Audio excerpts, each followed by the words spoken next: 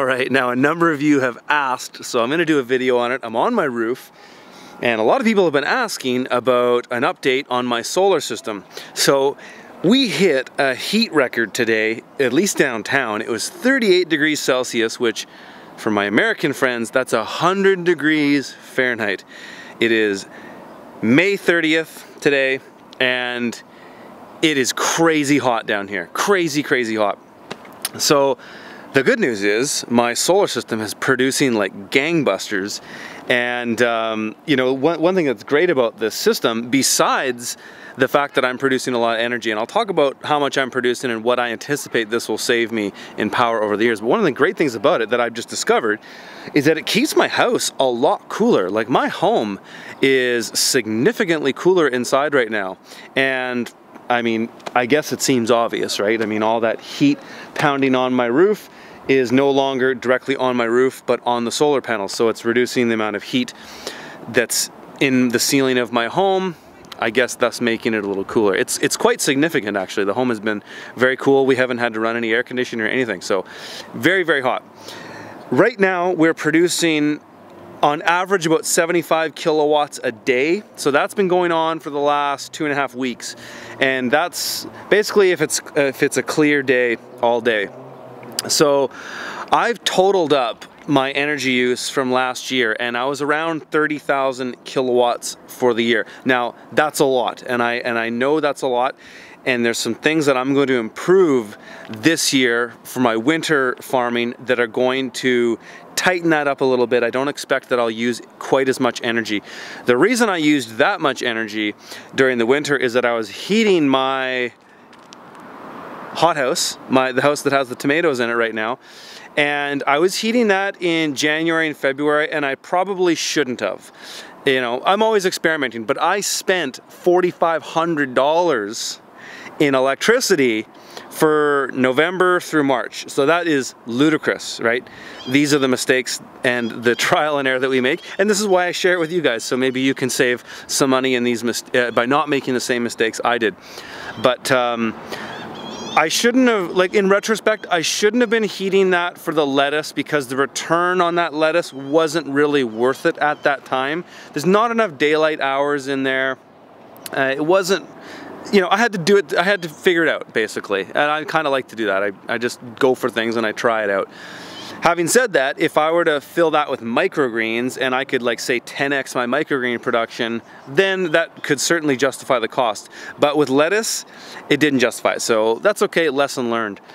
But as it stands right now, it's looking like the solar that I'm going to generate is going to at least reduce my overall consumption by half I think it will be more if I can increase some efficiencies. I'm not going to heat the hothouse, the tomato house, for those three cold months. So that's a, that 6,000 watt heater that I have in there is going to reduce, that is going to be quite significant. Um, I imagine that at that point I'll, some, I'll be somewhere around 75% reduction. You know, if I was just if I just had a house here and I had this much solar, I'd be producing far more than I'm consuming. The main reason that I consume as much as I do is because I've got two walk-in coolers running right now. Um, both of them aren't always running 24-7, but one's always running 24-7. I've got circulation fans running in both greenhouses, exhaust fans running in the nursery. You know, my farm is consuming a lot of power. And that's, that's partly why I got solar to begin with. So you know, this has kind of been my learning experience so far. And um, what I'm what I've been doing lately is I got this great app that I use, and uh, it's it's all connected to the internet, and I get live updates on my phone and on my computer, and I can look at how much I'm generating. I can it can generate spreadsheets. I can look at averages, and I love that kind of stuff. I'm a total numbers geek, so I've been just kind of following how it's increasing, and my production is is still going up a little bit because we're not quite at the summer solstice. So for us, the summer solstice is when the sun is the highest in the sky and it's it's the sunniest time of the year. And that period stays pretty damn sunny until August. So I'm, I'm thinking that next month in June, I'm going to break 22 or, or 2,000 kilowatt kilowatt hours per month and it might even be more. I, I think it might even be 2250. We're almost at 2000 this month.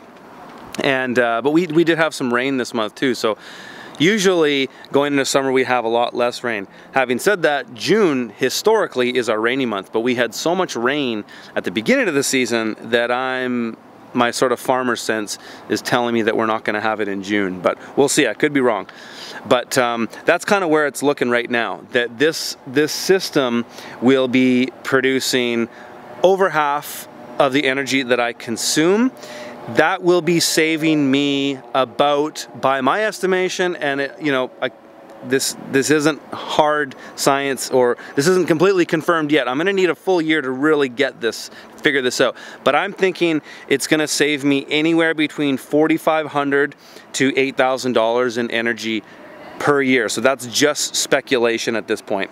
So having said all of that, I still have more options. So if I go a year and I and I don't generate as much power as I'd like to, I still have the option to put some panels on this roof and they would be on a slight riser. So I could put at least another 12 panels on there. So we'll see. I, am not I'm not for certain that I'll do that, but um, right now I'm pretty happy with what it's doing. It's pretty cool that you know it's producing so much. Like right now we're producing way more than I consume. My average consumption from last year I basically took the total kilowatt hours I consumed last year and just divided it by 356 days or 365 days and it arrived at 96 kilowatt hours per day. That's a lot, but keep in mind that's because I'm running my farm and my house.